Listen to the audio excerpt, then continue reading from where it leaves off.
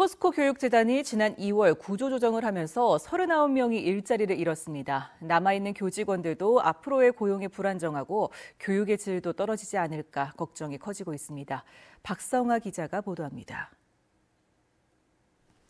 지난 2월 포스코 교육재단의 직원 290여 명 가운데 39명이 퇴직했습니다. 명예퇴직한 정규직 직원 8명을 제외하면 대다수 직원들은 청소와 시설 관리 등을 담당하던 비정규직. 남은 직원들도 내년에 또다시 대규모 구조조정을 실시하지 않을까 불안해하고 있습니다. 인원 감축과 함께 학교 운영비도 크게 줄면서 교사들은 앞으로 교육의 질이 걱정입니다. 오늘 강사는 지금 초등학교 현재 전부 다 사라졌습니다. 초중학교 두 개가 다 사라졌고요.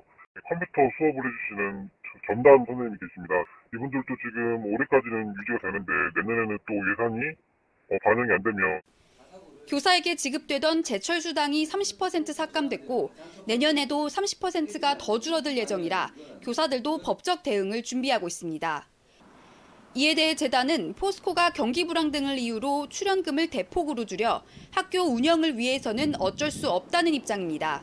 또 출연금 축소에 따라 정상적인 학교 운영을 하기 위해서는 이제 불가피하게 그런 인력 감축이라든가 이 수당을 감축할 수밖에 없는 상황에 직면했기 때문에 포스코의 올해 교육재단 출연금은 120억 원, 2012년 385억 원에 비해 3분의 1 수준으로 내년에는 40% 넘게 추가로 삭감될 예정입니다.